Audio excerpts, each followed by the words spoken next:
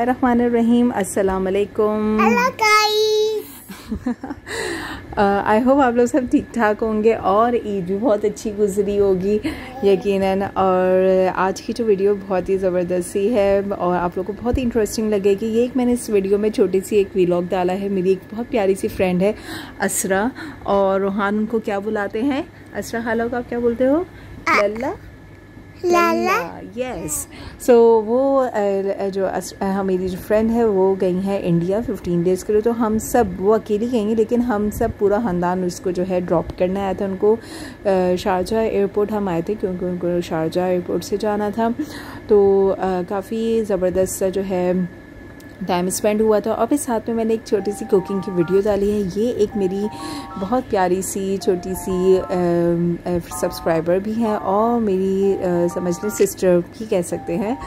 और माहीन इनका नाम है। ये उन्होंने चिकन कढ़ाई बनाई थी। वैसे तो वो बाय प्रोफेशन फार्मासिस्ट होंगी इन इन फ्यूचर अभी डी फार्मेसी वो पढ़ रही हैं।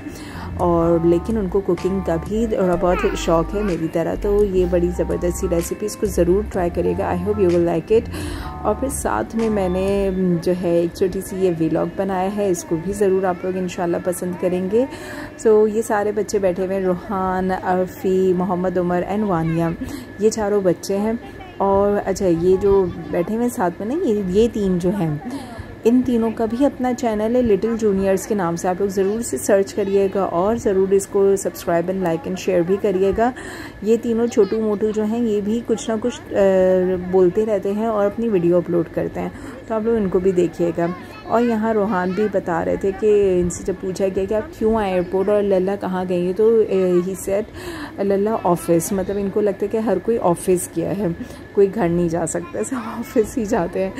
और इस तरीके से हम उसको यहाँ छोड़ने आए थे और उसको छोड़ने के बाद फिर हमने छोटी सी जो है, इस खुशी को सेलिब्रेट भी किया था। हम गोला गंडा भी खाने गए थे। मतलब आप इमेजिन करेंगे, हम वैसे नॉर्मली पाकिस्तान में तो बहुत ही कॉमन है गोला गंडा लेकिन यहाँ इतना कॉमन नहीं है नॉर्मली या तो इंडियन रेस्टोरेंट्स में कभी कभी मिल जाता है। किसी किसी इंडियन रेस्टोरेंट्स में तो हमने एक ट्राई किया था कोला गंडा। काफ़ी टाइम बाद किया था और क्योंकि मेरी ये फ्रेंड जो थी ये भी ढाई से तीन साल बाद इंडिया जा रही हैं अपने पेरेंट्स और अपने सिबलिंग्स से मिलने के लिए ऑफ़, ऑफ़, मतलब ये कि यहाँ पर हॉलीडेज़ हैं वेकेशन हैं स्कूल्स की। तो इस वजह से उनको ये टाइम मिला और हम भी यहाँ पर उनको छोड़ने आ गए। और क्योंकि हम खुद भी फारिग ही बैठे हुए थे तो हमने कहा चलो किसी को ड्रॉप ही करने चले जाते हैं। तो इस तरीके से बड़ा अच्छा सा टाइम स्पेंड हुआ ये भी। और आप लोग को ज़रूर ये वीडियो पसंद आएगी। इसको ज़रूर देखिएगा। लाइक करें शेयर करें फॉलो करें सब्सक्राइब करें। और यहाँ पर इनकी शरारतें और चिट चैट ये चलती रहती हैं बच्चों की।